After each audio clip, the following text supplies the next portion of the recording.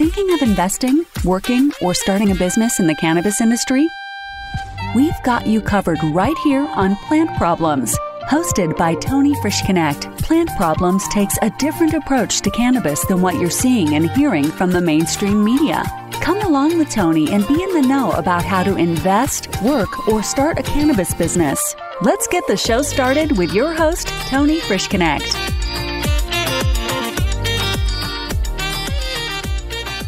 Hello, everybody. Welcome to Plant Problems. I'm your host, Tony Frischknecht. I'm excited to have you guys here today. I've got somebody that I think is going to be unique to the cannabis industry, especially given the times and the busyness and how fast it's growing here in the US. I found some unique individuals at the MJ BizCon event in Las Vegas, Nevada. And if you haven't been to this show yet, it's definitely worth checking out. I, I, believe it's probably the largest show out there of its kind. Of course, it's in Vegas. So this year they got between 30 and 35,000 visitors. Huge. You have everything from packaging all the way up to CBD products, extraction, lighting, They've got a couple thousand expo people there. So if you're looking at just wanting to walk around and really seeing what is out in the cannabis world, this is the place to check it out. And so it happens every fall, generally November, December time. This is the first time it's been in December. For whatever reason, they had moved it up to that. This is one of the great shows to attend, especially if you're looking at trying to find something new, as well as meet a lot of different people from all over the world. Speaking of all over the world, my next guest currently works at her practice, the Zhu Lu International Legal Office, where she represents a variety of clients, international and domestic, commercial and private, on exclusively cannabis and hemp related cases. One particular area of focus is on the legality of CBD in Taiwan, which remains in the gray area where she works to clarify and pioneer these policies. Hi, I'm here with Zoe Lee from Taiwan. Yes. Hi, everyone. I'm Zoe. Thank you for having me here, Tony. You're welcome. Thanks for being on Plant Problems. I am bringing Zoe to this episode because there's some unique things that are happening in Taiwan. And she is an attorney in Taiwan. Zoe, what did you go specifically to law school for? I went to law school for criminal law, and right now I'm a cannabis lawyer in Taiwan. I think it's really, really interesting. There's not a lot of, I haven't met anybody from Taiwan that's a cannabis attorney at this point. There's probably not too many of you, right? I'm one and only cannabis lawyer. I only do like weed cases, seriously. So the reason why I, thought this was interesting to the listeners out there is they're working on pretty much being pioneers in the industry out mm-hmm. there. And I write in my book that that's one of the unique positions on being ahead of everybody else that is going somewhere where nobody else mm-hmm. is. Mm-hmm. I would say Taiwan fits right up in that area. So I want to ask Zoe a few questions today, and she's going to actually ask me some questions. We're going to kind of reverse role on the interview, and we're going to talk a little bit here. Zoe, this is exciting for me. It's really exciting for me too. So, Zoe, we talked earlier today, and you are actually running for Congress in Taiwan, candidate at large. Is that correct? Yes, that is correct. I'm running on behalf of Green Party Taiwan as like a green party everywhere. US has green party as well. We're all like under Global Greens, this like a brand, global brand. So Green Party Taiwan like decided to nominate me as like candidate at like at large, going to a parliament, basically it's lawmaker. And the election is on next year, January 11th, actually, it's quite fast. They put me there to represent them on legalization of medical cannabis. So, how long have you been in the lobbying process on medical cannabis with the state? Is that actually happening now, or that's what they want you to do in Congress? Is that the idea? They want me to do it in Congress because cannabis in Taiwan is still scheduled to like drug, and if you transport it or you producing it, you're facing seven years at least in jail. So it's pretty legal like that. Yeah, that's. Uh, there wouldn't be too many people in this country if they had seven years mandatory they would go to prison if they were caught manufacturing cannabis. That's for sure. This is your first time in MJ Biz in, in Vegas, right? Yes, this is my first time. Yeah. What did you think today? This is like a big industry. Even though we don't touch THC product, we still could do a lot for a whole supply chain from like equipment companies, from packaging companies, everything. So I feel like this is way more than we thought of legalized marijuana or even industrial hemp. So I think it's a great opportunity to learn and bring this experience back to Taiwan public to the government what we're missing as a whole trend in the world. So there's obviously a lot of friendly people that want to see you push medical cannabis through in Taiwan. What are the opponents that you're dealing with and some of the stigmas, obviously, of marijuana? What do those people look like? Can you explain a little bit more about them? People doesn't like this idea. They're more like a conservative people. Doctors has concern on that. It's debating in doctors group, like some like a mental health association like medical association they really pro, pro this because they see how cbd works for like anxiety or other purpose i mean medical purpose we actually having doctors like uh, younger doctors really trying to like legalize everything. But for older generation in asia we're conservative and we don't know about marijuana so they just don't talk about it and they're afraid about it. So basically our opponents is like the public the conservative or let's say the boomers.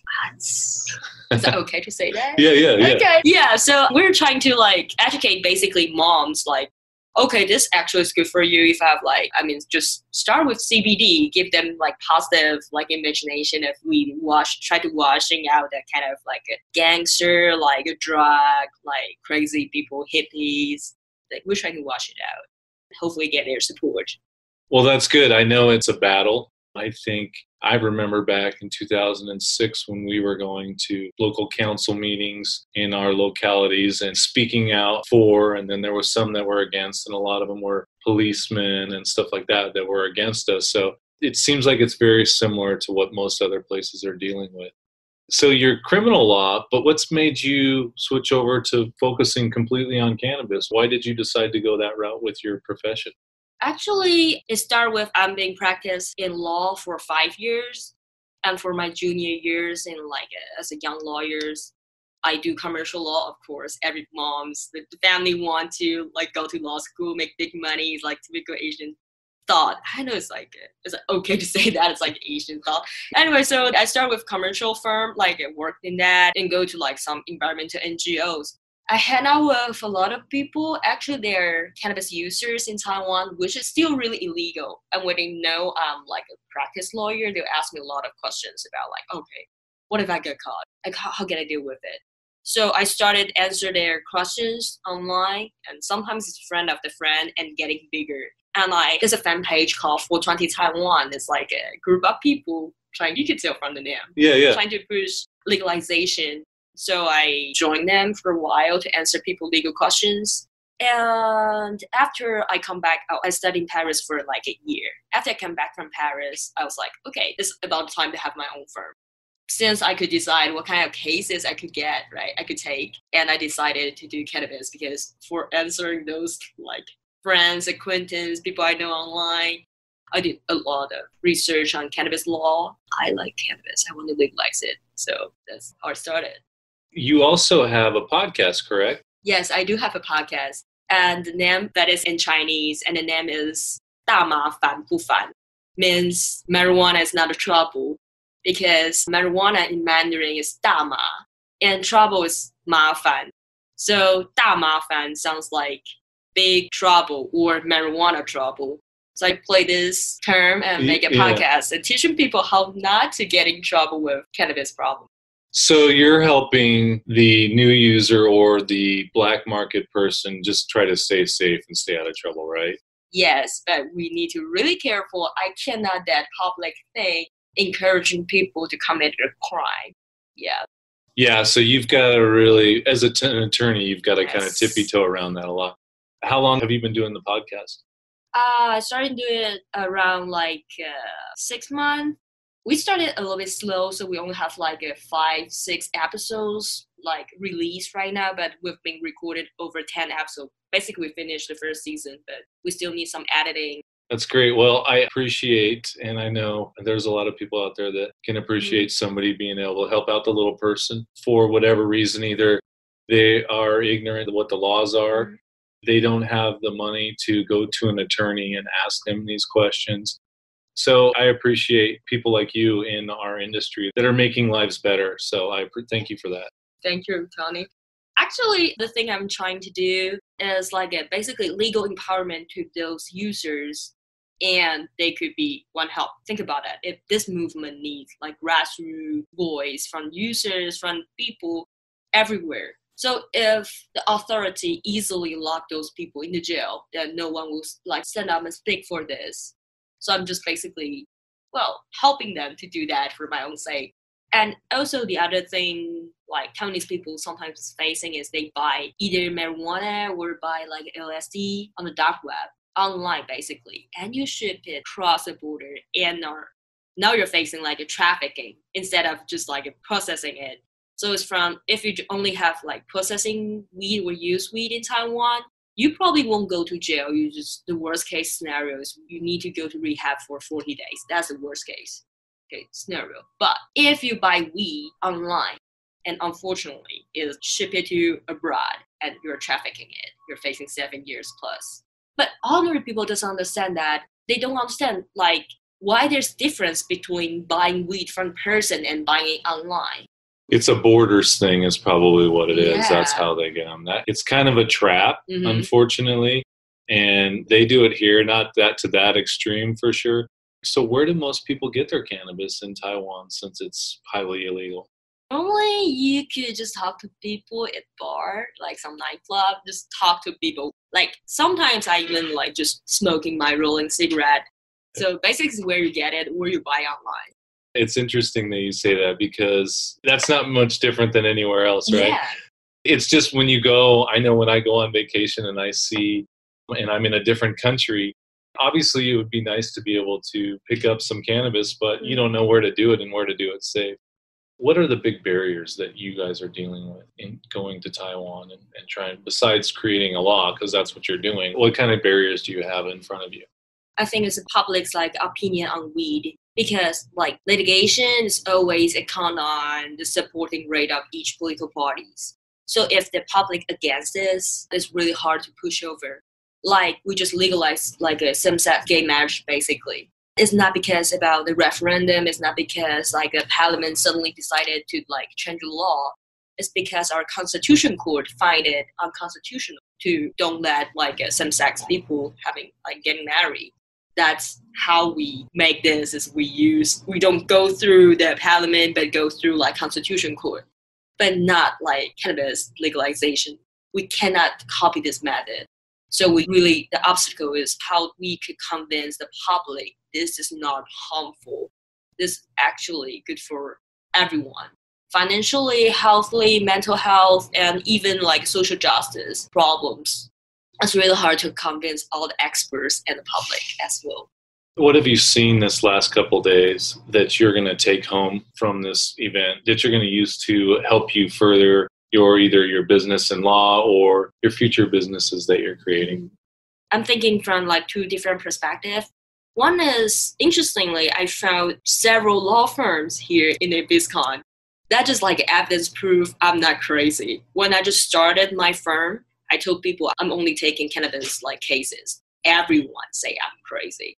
It's like no one use cannabis in Taiwan. You're gonna like stop this, or when they're trying to give me other like divorce case, or like they just afraid out like out, out of business, whatever.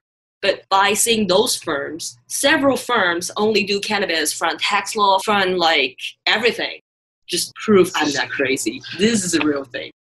So it's confirming that you feel like you're heading down the right direction then. Yes. Yes, that's very like exciting. Like I was like speechless when I found them. I was like, it's a real thing? Thank God it's a real thing.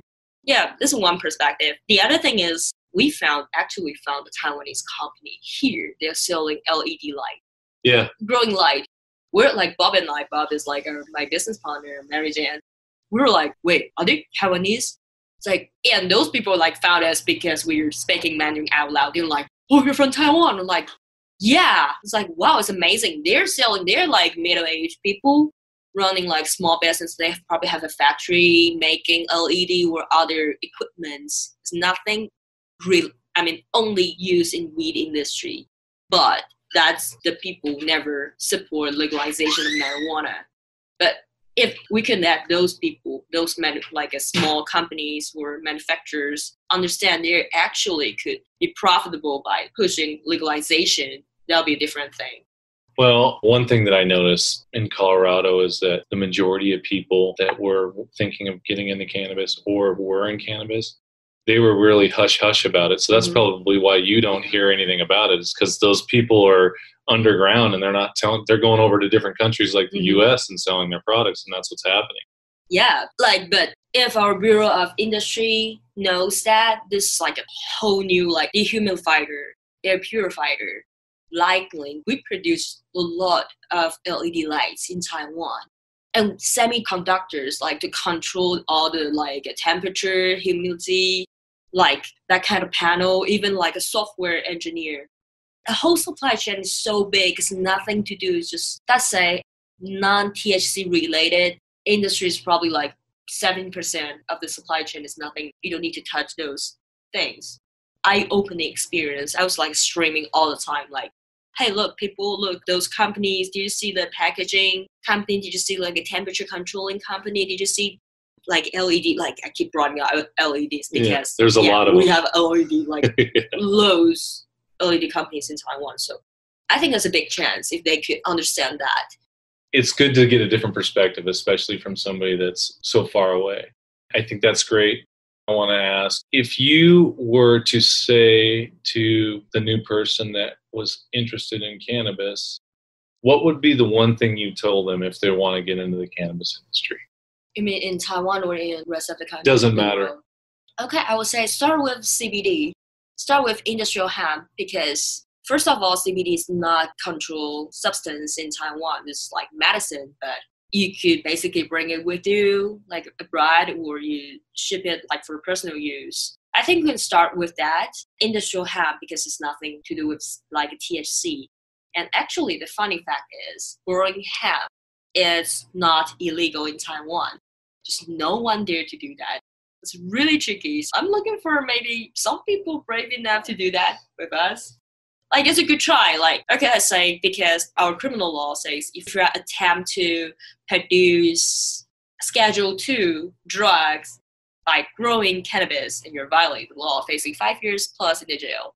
But if you're not attempt to do that, like I found a case, they found innocent that the person grew 20 cannabis flowering nice big bud flower. I saw the picture on, on news. And he found innocent in end because he found that okay, I grew it. It's not for to produce any substance.